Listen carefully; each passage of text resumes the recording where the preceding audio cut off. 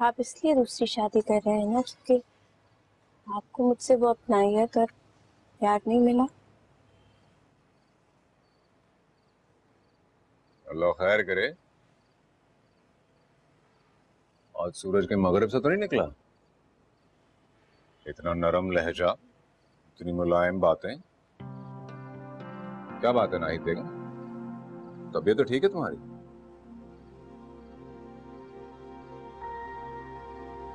میں شام سے یہی سوچ رہی ہوں کہ اگر آپ غلط ہیں تو میں بھی ٹھیک نہیں ہوں۔ آپ دنیا والوں کو دھوکہ دیتے ہیں اور کیا فرق ہے آپ میں اور مجھ میں؟ کچھ بھی نہیں۔ چلو، دیر آئے درست آئے کم از کم تمہیں یہ احساس تو ہوا کہ میں برا نہیں بس دل کا وارہ ہوں تو۔ اگر میں آپ کو شوہر والا مان، عزت، پیار، سب کچھ دوں تو آپ پری کا مطالبہ کرنا چھوڑ دیں گے۔ میں بہت پیار کروں گی، آپ کو بہت خدمت کروں گی، ہر چیز کا خیال رکھوں گی اور اف تک نہیں کروں گی۔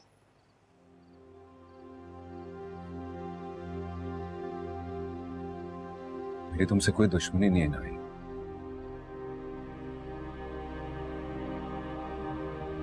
میرے پاس تمہاری سہیلی کا دل اٹک چکا ہے اس میرا کوئی قصور نہیں ہے مجھے بہت اچھی لگتی ہے جیسے وہ کالی چادر اوڑھ کر نکلتی ہے مجھے ایسا لگتا ہے جیسے گھپ اندھیری رات میں چاند نکلا ہے کاش تم ہی اسے منع کر دیتی کہ کالی چادر اوڑھ کر نہ نکلا کرے۔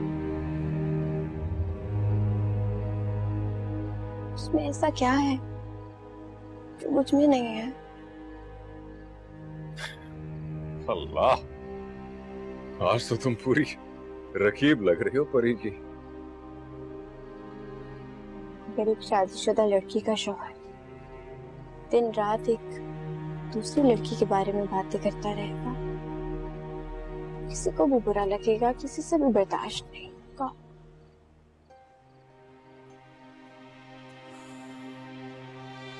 دیکھو، تم یہ کیوں نہیں سوچتی کہ جب ہم تینوں ساتھ رہیں گے تو کس قدر خوش رہیں گے؟ اور میں تم سے وعدہ کرتا ہوں میں تمہاری حیثیت میں کبھی کوئی کمی نہیں آئے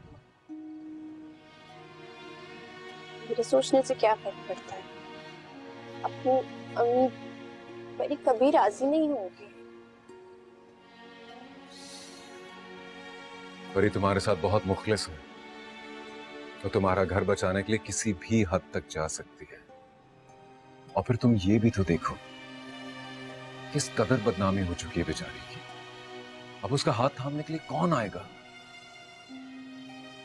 دیکھو، اس میں میری میری چاہت میرے دل کی خواہش ضرور ہے، لیکن اس میں سراسر پری کی بھلائی بھی ہے۔ اور تم اپنے والدین کی بھی منا لو گی انہیں انہیں طلاق سے ڈرا دھمکا کر۔ مان جائیں گے۔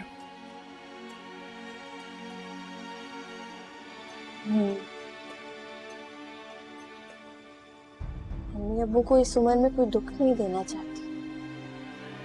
اور کوئی سکھ دیا بھی نہیں ہے زندگی میں۔ امی ابو یہ دکھ سنیں گے، وہ تو جیتے جی مر جائیں گے اور میں تو ایسا ہونے نہیں دے سکتی۔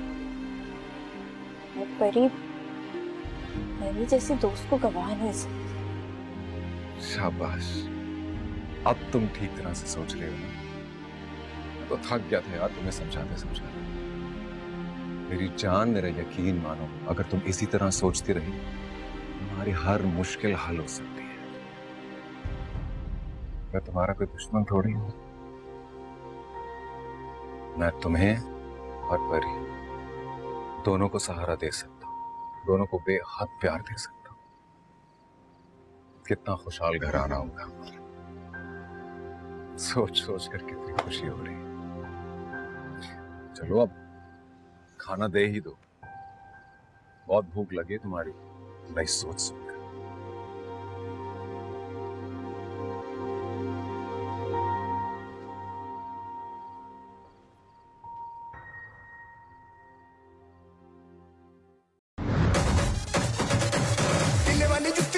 لوگ کہتے ہیں کہ جوانی پھر نہیں آتی، لیکن جوانی بڑی عید پہ پھر سے آ رہی ہے۔ ہم چاہتے ہیں اس بڑی عید کے بڑے موقع پہ پورا پاکستان یہ فلم دیکھے۔ ہم آپ کے پاس ایک ڈیل لے کر آئے ون ڈالر ڈیل۔ صرف سو روپے میں آپ جوانی پھرنی آنی ٹو دیکھ سکتے ہیں۔ یعنی کہ سو روپے میں جوانی پھرنی آنی ٹو دیکھیں۔ کیسے؟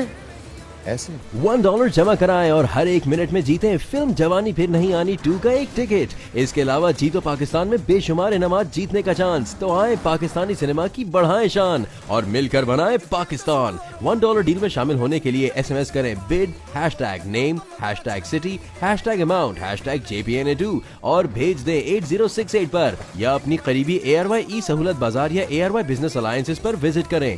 جتنے زیادہ ڈالرز اتنے زیادہ جیتنے کے مواقع۔